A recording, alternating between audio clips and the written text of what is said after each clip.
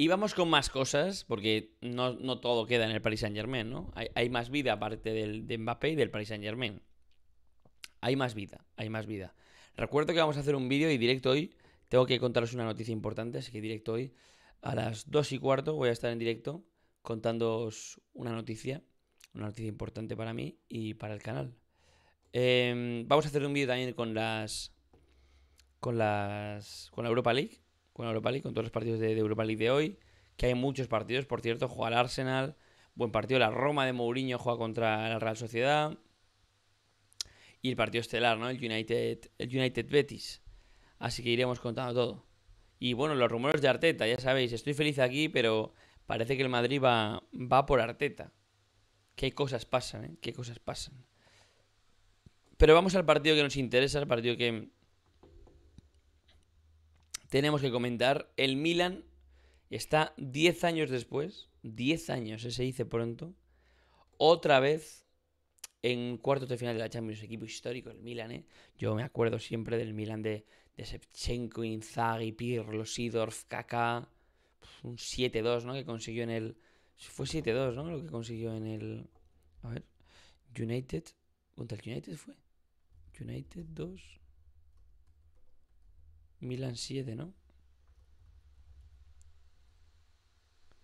2-7, ¿eh? No, no lo voy a reproducir porque no quiero cargarme aquí el vídeo, pero fue 2-7, ya lo podéis ver aquí. 2000, en 2000, no, en 2010 no fue. No, no, no, fue en 2010. Fue en 2007. Tampoco, 3-2. Sería en 2004 esto o algo así, ¿no? 2004 o una cosa así. A estos miran 2. United 7. O igual fue 1-7. A ver. No, no, lo encuentro, la verdad. No lo encuentro. Yo recuerdo una goleada increíble con gol de caca. Una goleada increíble con gol de caca. A Old Trafford.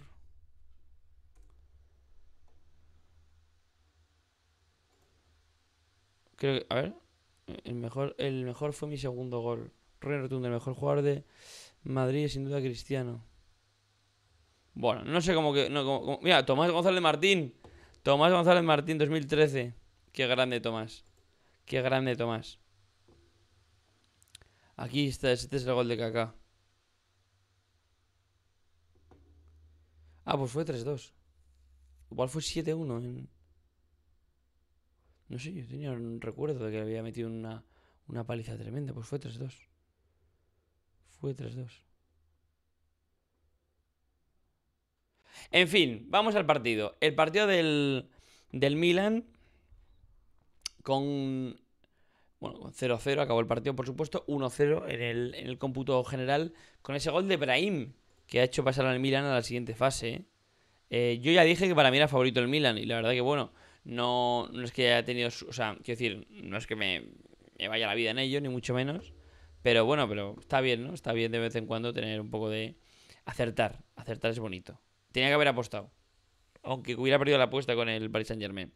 Aquí está la alineación del, del Tottenham, que jugó con eh, Foster en portería. Lloris sigue lesionado, como sabéis. Cuti Romero, que fue expulsado. Lenglet y Ben Davis, que acabó luego de lateral, con Emerson Royal en la derecha y Perisic en la izquierda, que fue sustituido muy pronto, el croata. Eh, Skip y Hoiberg, eh, doble pivote para el equipo de Conte, con Kulczewski, Son y Harry Kane en punta de ataque. Luego ya habéis entrado aquí Pedro Porro en el 53 por Perisic y recompuso un poquito el equipo. También se fue luego Emerson Royal. ¿Por quién fue el cambio de Emerson Royal? Por Richarlison, cierto para volcar al equipo. Recordemos que necesitaba un gol el equipo de Conte. Ahora vamos a ver los números del partido. Vamos a analizar lo que se dio y lo que fue el partido. Jugó Brahim, que, decía la gente, ¿no? Igual no juega Brahim, jugó Brahim, por supuesto. Benacer fue, fue suplente, lo cual a mí me sorprende, la verdad. Jugó Krunic, pero ahí me sorprende. Me sorprende bastante. Y luego acaba jugando también Revich y Origi un rato. El equipo de Pioli, que por cierto Pioli lo celebró, como no puede ser de otra manera, ¿no? Una década después, insisto, em, el Milan vuelve a unos cuartos de final de la Champions y lo celebró muchísimo. Este es el equipo con Magnan que volvía y hizo una parada. Hizo una parada Magnan en el minuto 90 de partido, o 92, a Harry Kane, que era el empate de la eliminatoria, en un cabezazo que es verdad que parece que va más esquinado y luego es verdad que no va tan esquinado, que igual no va al centro, pero, pero una parada complicada con todo el mundo metido en el área, una parada muy difícil. Para donde el portero eh, del Milan que volvía, jugó Tatarusano la ida, eh, si recordáis, que tampoco encajó, ¿eh? pero jugó porque estaba lesionado mañana. Y la verdad que gran partido, sobre todo esa, esa parada que pues no llega el partido a la prórroga. Yo sinceramente estaba deseando que el partido fuera la prórroga, pero al final paró mañana y el partido acabó con 0-0 y la eliminatoria se fue para, para Italia. Con Kalulu, Tomori y Tio en defensa. Por cierto, vaya partido de Tomori. En, general de los tres centrales, pero vaya partido de Tomori en particular. Con Krunic y Tonali en el centro del campo. Buen partido de Tonali. Me gusta mucho este chico. No tiene tanta calidad ni tanta clase como puede tener, por ejemplo, en Italia Varela. Que Varela es un futbolista diferencial. Pero es un futbolista Tonali muy, muy, muy interesante. Que creo que va a dar mucho que hablar y por supuesto va a ser eh, internacional con Italia. O sea, tengo pocas dudas. Tiene 22 años, es un chico muy joven. Pero, pero vamos, eh, no imagino que ya ha sido internacional. Imagino que ya habrá debutado con Italia. Ahora no tengo ese dato. Su país, 16. Ah, imagino que sí, imagino que sí. Pero, mira, 12 veces internacional. 11 eh, con la sub-21 y 11 con la sub-19. Pero este chico va a ser... Entre él y Varela van a, van a llevar en volandas a la, a la selección. Seguro que me dejo algún italiano más joven, pero este chaval es, es que es muy bueno, realmente muy bueno, muy bueno. Tácticamente impoluto.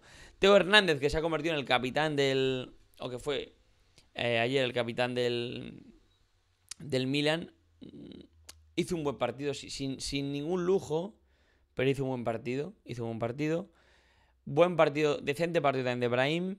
Eh, buen partido de Mesías, quizá mejor que el de Brahim. Y Giroud, que fue el que jugó en punta, que tampoco tuvo mucha participación, como siempre Giroud, más rematador. Y diréis, ¿pero te has dejado a Leao? Sí, amigos. Me he dejado a Leao porque creo que hay que hablar de Leao. De un Rafael Leao que es el diferente. Es el diferente. Es otro chico muy joven, se puede adaptar a muchas posiciones en ataque. 23 años el portugués. Creo que los portugueses en el Madrid funcionan bastante bien. Llevan 9 goles esta temporada. No son muchos entre tres partidos. Son pocos, de hecho. No es un goleador.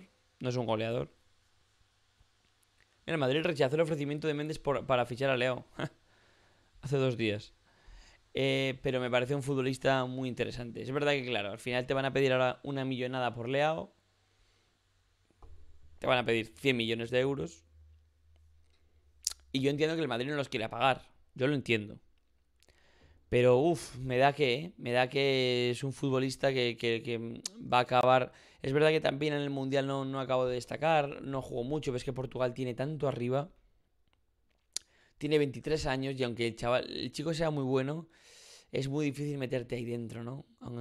Tienes que ser realmente el mejor, porque si no por jerarquías al final acabas por no jugando. Pero creo que ayer hizo un gran partido, fue el diferente, eh, muy interesante Rafael Leao. Vamos a ver cómo progresa y cómo avanza esta edición de la Champions para él, pero me da a mí que, que está para, para más, está para más. Aquí está la posesión, por supuesto lleva un poco más el dominio, sobre todo al final el, el Tottenham que necesitaba la victoria. Aquí tenéis 54-46. Eh, saques de esquina 6-0. El Tottenham sí que insistió mucho por arriba, pero ya veis que poquitos tiros a puerta. Dos del Tottenham a puerta, eh, tres fuera em, y hay 5 y 3 para, para el Milan. Tres paradas de cada portero, tres de Foster y tres de Magnan. Y un dato que, que sí que quiero comentar son las 30 faltas del partido, 18 del Tottenham y 12 del, ah, del Milan, con una roja, por supuesto, cuatro amarillas, cinco en total, y una roja para, para el Cuti Romero, que sinceramente eh, hizo un gran mundial, estaba jugando bien, pero se le empiezan a notar las carencias. En fin, este fue el partido. Amigos, comentad lo que opináis del partido.